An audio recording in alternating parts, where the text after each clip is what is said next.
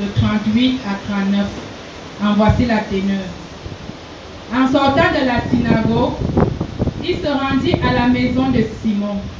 La belle-mère de Simon avait une violente fièvre et il le priait en sa faveur. S'étant penché sur elle, il menaça la fièvre et la fièvre la quitta. À l'instant, elle se leva et les servit. Amen.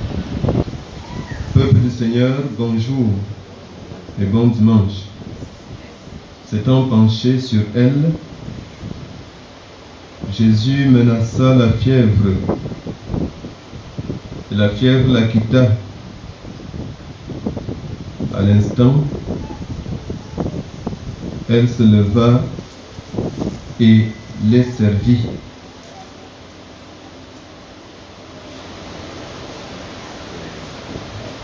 Le service est présenté ici comme étant l'expression immédiate de la reconnaissance de la belle-mère de Pierre envers Jésus au sujet de la guérison qu'elle vient de recevoir par les soins de ce Sauveur adorable et plein de miséricorde. Le service est donc une action de grâce par excellence.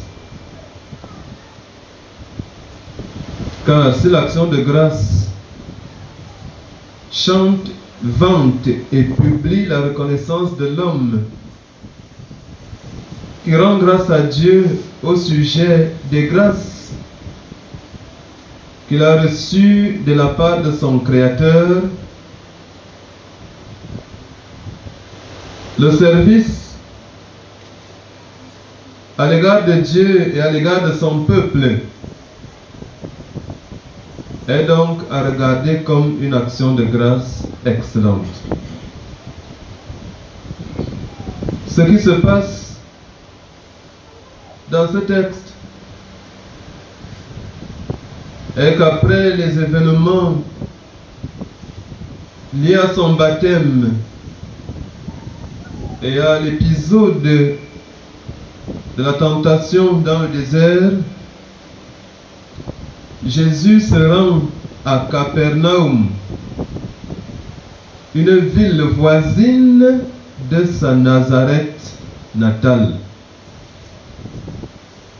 Et là, à Capernaum, il entre dans la synagogue et se met à enseigner. Ensuite, il opère une guérison et il sort de la synagogue. Au sortir de la synagogue, Jésus se rend chez l'un de ses disciples, Simon, encore appelé Pierre.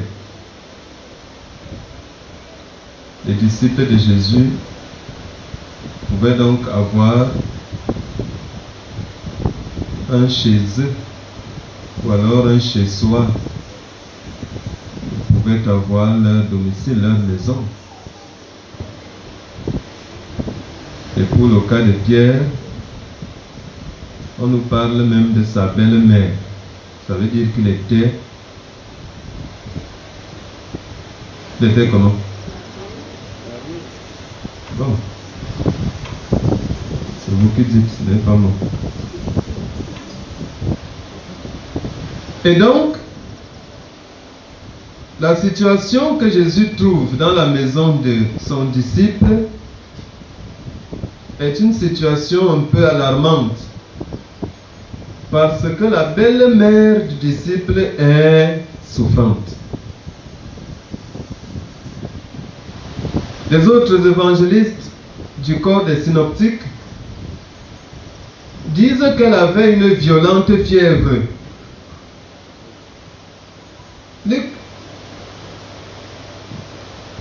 Dit que sa mère était malade. C'est même lui qui dit que la fièvre a été violente. Hein.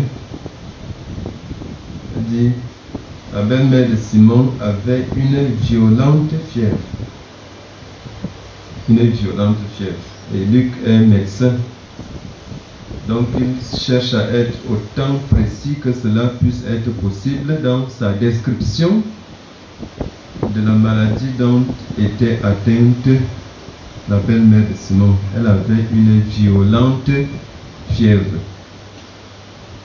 Bon, si c'est nous aujourd'hui, on dirait simplement qu'elle avait le palu. Parce que dès qu'il y a fièvre, on pense au palu, non? C'est vrai qu'aujourd'hui encore, quand il y a fièvre, on pense à l'autre là. Même si ce n'est pas ça, hein. Et que je fais 40, hey, 40. Porte d'abord ton cache-nez. Sinon, on ne s'occupe pas de toi. on prend même la température à distance parce qu'on ne veut pas être en contact avec le malade. On a sorti un appareil dont l'ancien vous donnera le nom tout à l'heure. Je ne connais pas. C'est thermo quoi? Quelque chose comme ça. Euh, on, te présente ça à distance. Euh, on dit la 40. Hé, monsieur, attendez là-bas la véranda. Donc, c'est d'un truc comme ça que souffrait la belle-mère de Pierre. On pouvait soupçonner toutes sortes de maladies, mais Luc dit que la fièvre était violente.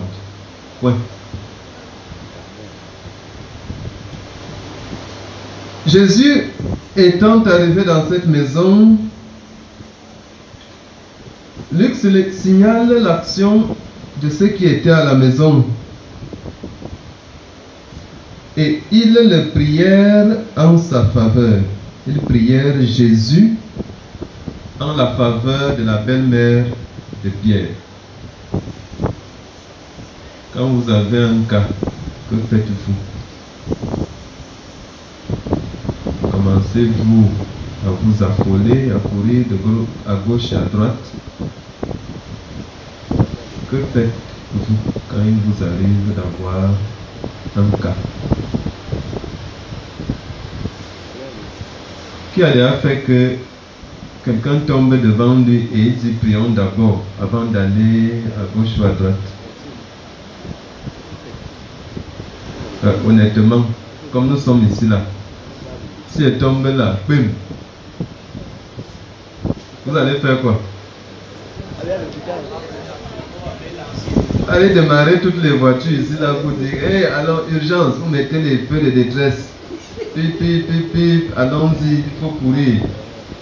Parce qu'on pense que la solution c'est à, si c'est alors à l'hôpital qu'on va. C'est a aussi quand il tombe comme ça là, on l'amène autre part là, dans une petite maison que vous connaissez là-bas. Parce qu'il pense que c'est là-bas qu'il y a la, la solution. Et il faut très vite y arriver. Il faut donc tout faire pour y arriver tant qu'il est encore temps. Prenez souvent une minute pour prier. Une minute. Parce qu'il y en a qui ont couru vers un hôpital ou vers un, quelque chose comme ça là, et qui n'y sont même pas arrivés. Et en route, ils ont rencontré autre chose. quand vous démarrez la voiture pour courir à l'hôpital, si vous arrivez au rond-point Maïtu et qu'il y a un embouteillage, vous faites comment? Vous allez porter la voiture sur la tête. les Camerounais aujourd'hui ne gèrent même pas les urgences. Camion de sapeur-pompier demande la voie, quelqu'un est là avec sa Corolla et qui ne cède pas la voie. L'ambulance vient, dit Acadie, on ne nous dérange pas. Il est là avec son taxi, c'est l'attaque. Donc, quand vous avez un cas sous la main, priez. Et c'est ce que la maisonnée de Simon-Pierre a fait. Tous ont prié Jésus en la faveur de la belle-mère de Simon. Tous. On parle ici d'une action commune et qui connaît l'implication totale de l'ensemble, n'est-ce pas, des, des membres de la famille. Il n'est pas question que pendant que les uns vont à gauche, les autres décident d'aller à droite. L'action est coordonnée, concordante. Tous prièrent Jésus en sa faveur. Et ayant écouté leur prière, Jésus, dit Luc, s'est penché sur elle. Ah, il n'a pas eu peur du corona. Elle est malade, elle a quoi la fièvre? Et lui se penche même sur elle. Ça, c'est qu'elle était se pencher sur elle? Je crois que c'est Matthieu et Marc qui ne se limitent pas à dire que Jésus s'est penché sur elle, mais qui disent qu'il l'a même touché. Et c'est par ce contact physique auquel Luc associe l'expression, une parole. Il menaça la fièvre. C'est donc cet ensemble constitué du contact physique et de la parole porteuse de guérison qui amène la fièvre à quitter la belle-mère de Simon. La guérison arrive. Et une fois guérie, à l'instant même, elle se lève pour les servir. Elle se lève et elle les sert. Le verbe se lever peut aussi avoir le sens où l'expression d'une résurrection s'étant ressuscité, c'est une traduction possible du verbe grec qui est utilisé. Tout se passe donc comme si la belle-mère de Simon était morte. Jusque quand vous êtes alité, est-ce que vous vivez? Vous vivez? Peut-être que vous existez sans vivre. Hein? Quand vous êtes couché là, vous ne pouvez rien faire. Vous vivez. Quels sont les signes de la vie? Hein? De quoi? L'activité. Si vous n'êtes pas actif, vous ne vivez pas. Vous ne vivez pas si vous n'êtes pas actif. Le mouvement. Si vous trouvez une chèvre qui s'est couchée là sous le soleil, même si elle dort, si elle ne bouge pas, si vous dites qu'elle est en vie, elle ne vit pas. Elle est sans vie. Donc la belle-mère de Pierre était habitée, mais la parole et l'action de Jésus l'ont ressuscité. Et bénéficiant de cette résurrection, à l'instant même, elle se lève et elle les sert. C'est Jésus qui mène l'action qui produit le salut ou la résurrection ou la guérison, si vous voulez être simple, de la belle-mère de Simon. Mais une fois bénéficiaire de cette guérison, elle se lève et elle sert qui? Elle sert qui? C'est comment? Nous sommes fatigués. Elle a servi qui? Bon, qui veut parler? Pour qui nous dise ça en professionnel Elle a servi qui? Je vais désigner, oui.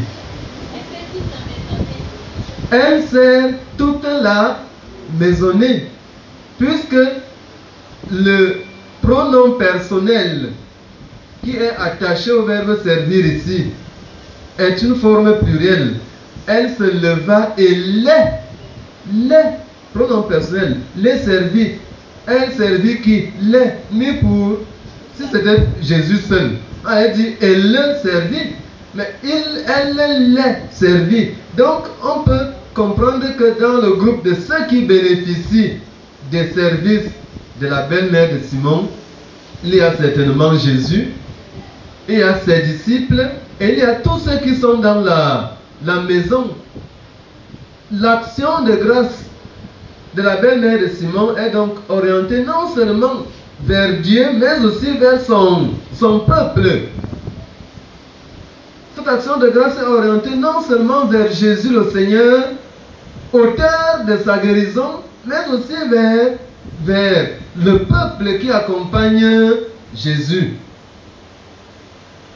Le service comme action de grâce pour lequel nous devons nous engager est donc un service qui nous met en relation avec Dieu et avec les hommes qui constituent le peuple de Dieu. Donc il y a toujours dans la notion du service cette double dimension verticale et horizontale. Ça, c'est le bon service. Le problème aujourd'hui, c'est que notre Église, notre société, notre pays, nos lieux de service sont remplis de serviteurs de Dieu et qui ne gèrent pas le peuple de Dieu, qui ne gèrent pas le prochain. Tout le monde est serviteur de Dieu. Tout le monde semble craindre Dieu. Tout le monde semble manifester un dévouement pour l'œuvre de Dieu. Mais vis-à-vis du prochain, parfois c'est catastrophique. Soit on ne sert même pas du tout, soit on sert avec des involtures, soit on sert avec comme si on nous poussait par la nuque.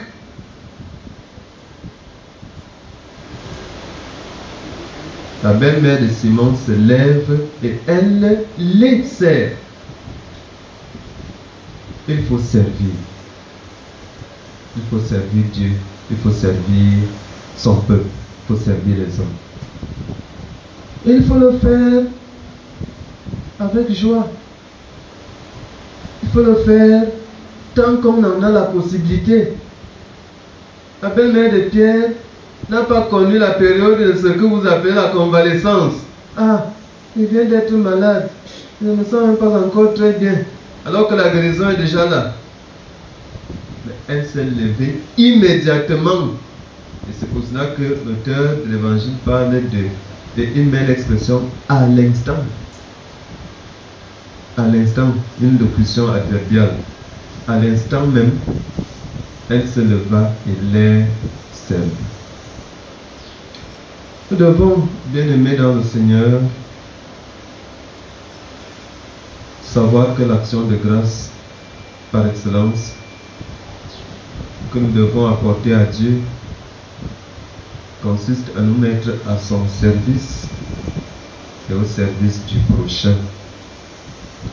C'est ce que Jésus a fait toute sa vie pendant tout son ministère public.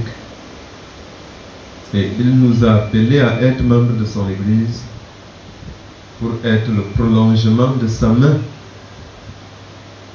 Nous devons donc nous mettre au service de Dieu, au service les uns des autres. Telle est l'action de grâce excellente que nous devons donner à notre Dieu. Amen.